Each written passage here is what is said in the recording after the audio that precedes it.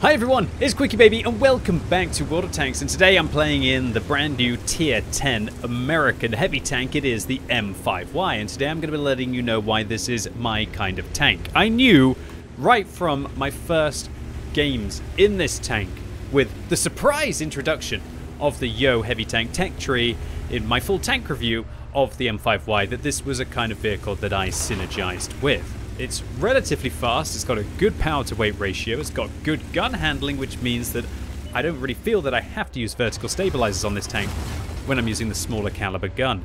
Combine that with a freaky kind of turret that can expose itself, but um, not at 100% uh, safety.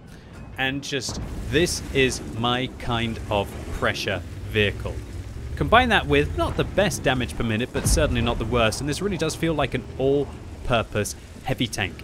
And with the alpha damage on it, which is the lowest of any tier 10 heavy if you use the 105mm gun, which I thoroughly would recommend that you do use on this tank, I really feel like I can just out-trade my opponents, at least with regards to these micro-engagements. The real success that I've had in this vehicle is where I use it to take on heavy tanks that just feel so much more cumbersome. And it really does feel as if it's like a medium heavy, rather than that true heavy heavy. A lot of people might think, well, why don't you love the Super Conqueror? And I think the reason why I don't love the Super Conqueror is it's just a little bit too slow. And also, the Super Conqueror just has an awful lower plate, which this vehicle doesn't have. And so when you get the tank into a nice matchup and you're playing against tier 8s or even tier 9s, which have relatively poor penetration, you can actually end up exposing more of your lower plate than you would expect to in other vehicles. Now, all of these advantages do come at some rather substantial costs. As I eventually mentioned in my tank review, when you're pointing your gun at your opponents, because your turret is locked to the gun, you always have a weak point exposed. But so what? Just go for it. Go take the fight to the enemy team, get stuck in, and hopefully you're still going to be able to do more damage to them than they are able to do to you. It's this kind of like knife fighting vehicle. It is not a tank for somebody who wants to have utter protection or utter precision on a ridgeline. If you want that, then go and play a Super Conqueror and use your 10 degrees of gun depression, and more or less, nobody's going through your turret, at least reliably. On this thing, if they do hit that weak point on top, they are easily going to be able to go into it. Do you want to play something with an autoloader with better DPM and better gun depression that's absolutely flavor of the month? Well, go play a Kranvagn. But unlike the Kranvagn, this tank will occasionally be able to ricochet off its hull, and it can manage to side scrape at least reasonably successfully.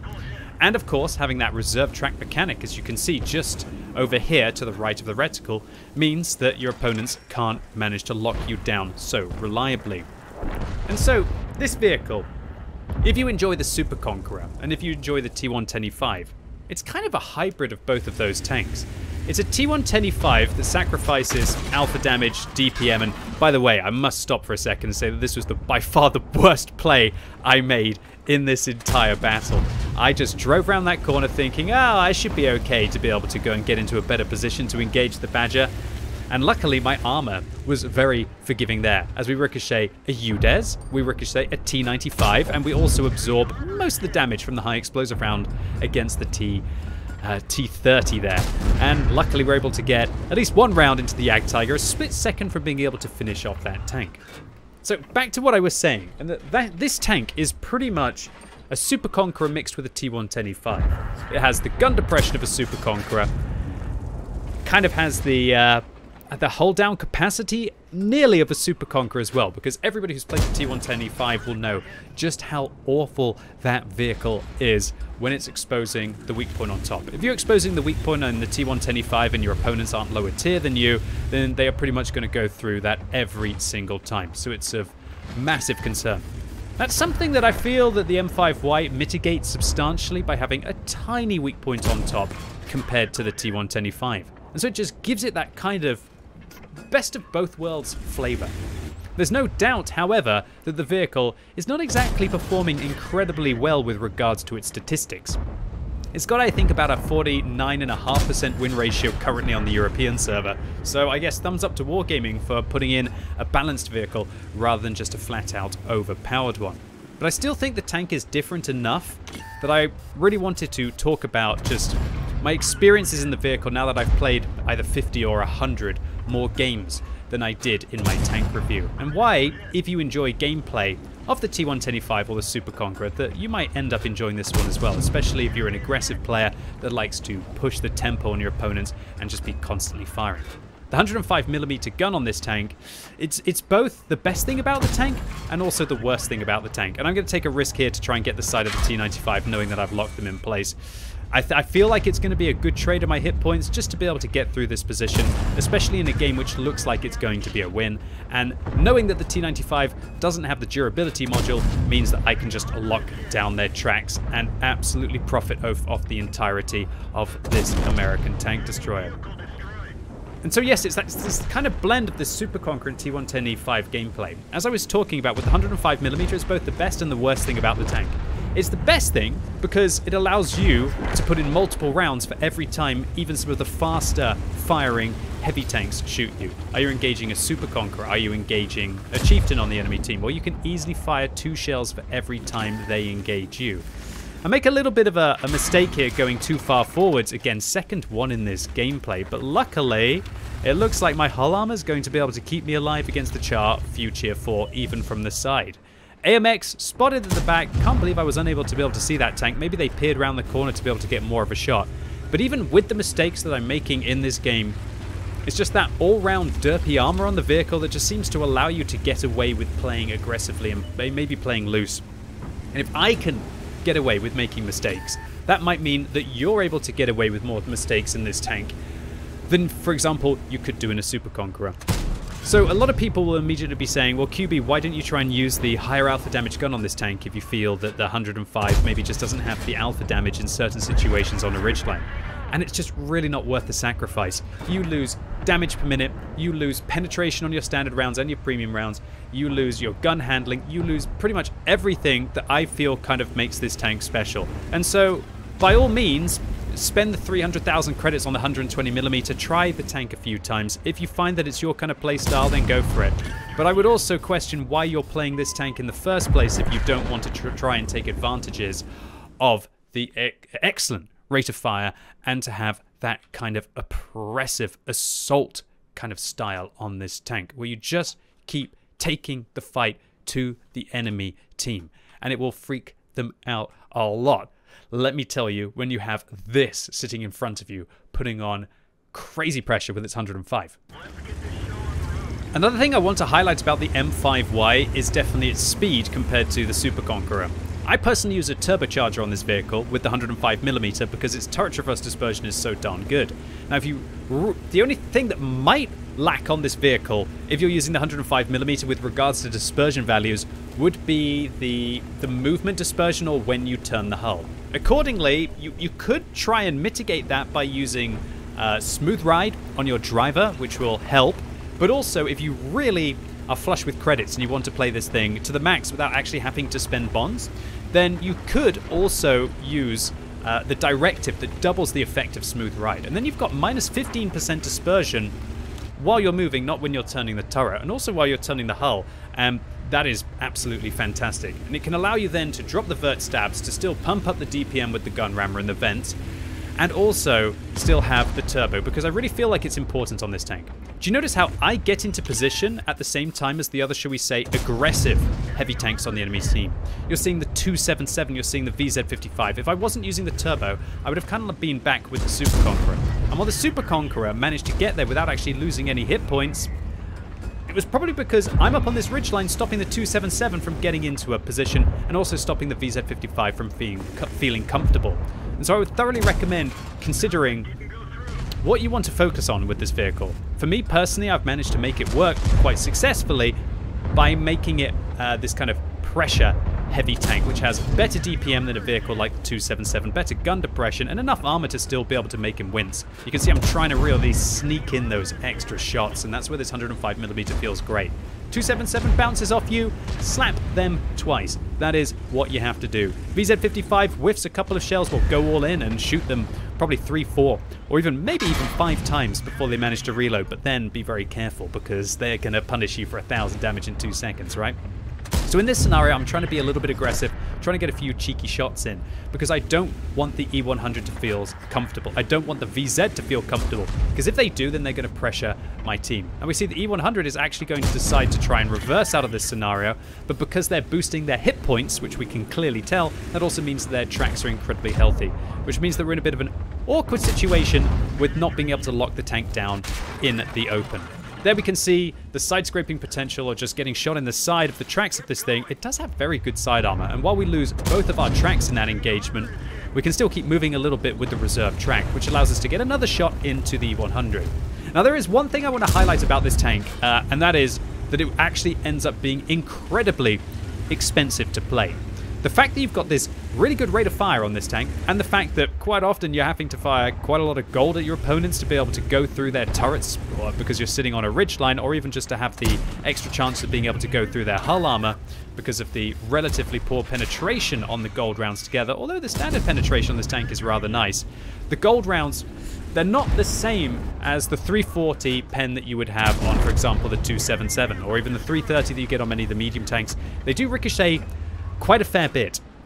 And considering that you're firing the rounds so darn often with the good rate of fire, and they're still very expensive indeed, I have ended up kind of only just breaking even playing this tank when I'm using a premium consumable that I'm purchasing at half price. So don't think that this tank is going to be a cheap one to play. I feel like to maximize this vehicle, maybe you can try and mitigate the cost a little bit with intuition, but it, it definitely has felt like one of the more expensive tanks to play. So I'm deciding that I don't really want to go in against the E100, the Jagdpanzer E100, and the VZ55 there. It feels like a bit of a stalemate. So why don't I go and try and punish the medium tanks? And oh my word, AMX 13105. I give them a little bit of a ram. I give them one shot of damage there, and I'm trying to put some pressure on them. And we actually managed to ricochet two shells from the 13105. That's something that I don't really feel the Super Conqueror would do. And we put three shots in. That was 1,200 damage that we dealt to the AMX 13105, and unfortunately for me, my E100s and my Super Conquerors weren't reloaded to be able to go after them. The 277 pings the map as to where the 13105 is, and talking about E100s, I'm going to be able to start to make my way against them. I'm looking for a shot here. I've actually bounced the E100 there, which is lovely. I'm going to go up and try and put a, a regular round into their lower plate, and I'm going to start reloading a gold round because I didn't think I was going to have a clean shot into the lower plate. I thought he would reverse an angle. A nice second round there. A little bit of overkill to fire gold, and I'm going to make my worst play of this game so far. Although I felt like in this situation, with the game being neck and neck with five kills aside and the hit points being so close, that I really had to just gun my way through this opportunity before the Leopard or the M60 or even the Manticore or the artillery could be able to engage me. In retrospect, I probably could have tried to side scrape there. I probably didn't need to push the tempo nearly so much on the E100, but I still get to take them out the game and put four rounds in for the one round that I received. And now that's put me in pole position to be able to hopefully deal with this M60 and this Leopard. So I'm going to come around the corner before the Manticore gets into position. I'm going to wait, I'm going to wait till I'm a little bit closer and fire when I think that they're going to react. Now, I realize there's a Leopard behind me, so I don't ram the M60. I whiz back, I put another cheeky round in. That's what people don't expect about this tank. The fact that I'm out trading mediums, mediums that have higher alpha damage than me, but they don't have a better rate of fire than me because of it. If I was playing the T110E5 in that situation, I don't think I would have got the second round out against my opponent. Although, now, 7,000 damage, 6 minutes into this game, it's down to playing a support role with the FV4005, who has over a quarter of our hit points left, more like a third. Talking about a third of their hit points, that's what they removed from the Leopard there, shutting them down. Great stuff. Nice kind of synergy here. I'm protecting them while they reload to stop the M60 from following up for the gargantuan 183mm shell that needs to be put back in the tank. And there's a Manticore now sneaking up. And I'm going to put a clutch shell into their turret. And that's another thing that I must highlight about this tank. That while the heat rounds are quite expensive and the, the tank does end up costing quite a lot of credits, I love these APCR rounds as standard, and I can't believe I haven't mentioned it until now. Having this 1,472 meters a second shell velocity allows you to make clutch shells against your opponents, and that's what I love. This feeling of a medium tank mixed with a heavy tank hybrid. It's kind of this heavy medium vehicle, and I think if you set the vehicle up in such a way as to play that kind of medium heavy role, I think that's where you can be successful in this tank. Going to pop around the corner, unable to find the Leopard. Going to back up this Foch, who's a one-shot, so I'm hoping they're not going to get clubbed as they manage to get this Leopard here. However, they do. They manage to shut down the Foch B. And this game, it's still fairly close, but not with that extra shot. And I should be able to snapshot this Leopard, and there we go, right into the side of the turret. Now up to five kills and just shy of 8,000 damage. But now, there's a Jagdpanzer 100 coming after us. Put a round into the lower plate, reverse up. My team are doing a really good job of nailing them in the side. I'm going to hopefully put another round into the cheeks, but I've got very bad heat pens, so I'm unable to do that. The FV tells me to retreat, and oh dear.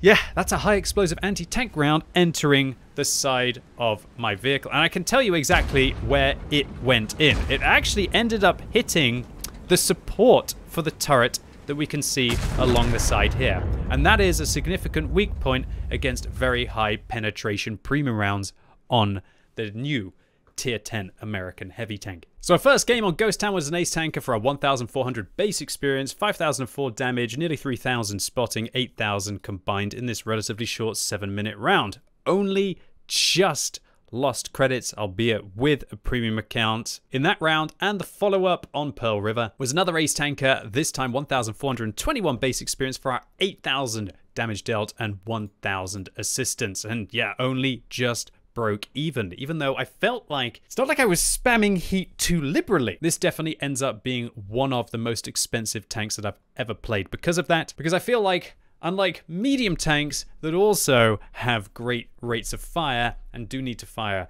a good amount of heat. This vehicle's just a little bit slower and unable to control the pace of the engagement, and so quite often it has to compensate to have a higher amount of penetration. And one thing I'd like to highlight in both of these games is that in the second one we blocked 3,500 damage, and in the first game we blocked 2,000 damage, enough to be able to vanquish this vehicle. And that's why, ladies and gentlemen, this vehicle truly is my kind of tank. It's this all-purpose, heavy, medium vehicle that is kind of one of the best all-rounders in World of Tanks. That if you're like me and you like to play that aggressive frontline role, then this is a tank that can kind of back it up. And I'm just surprised that the statistics of this tank, at least on the European server in the last 60 days, are not more impressive. It's starting to slip to a win ratio where it's approaching the 60 TP level, and considering that it's a new tank, and usually when vehicles are first released, only the better players are playing them, I personally expected its win ratio to be a little bit higher. And considering that it's already averaging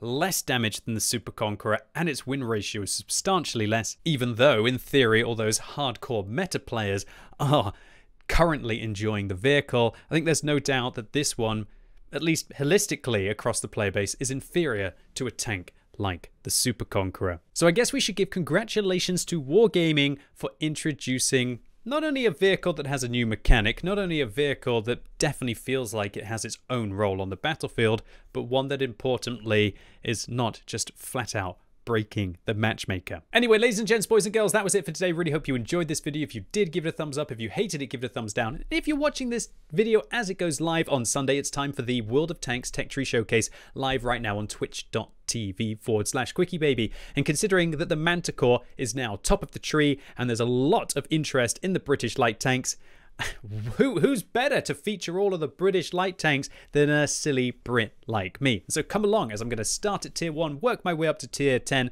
so you can see if the sneaky British light tanks with, in theory, their battleship guns uh, are actually very meta at the moment. So, really looking forward to seeing you all live right now on twitch.tv forward slash quickybaby. And as always, thank you so much for watching. You've been epic, and hopefully, I'll see you soon.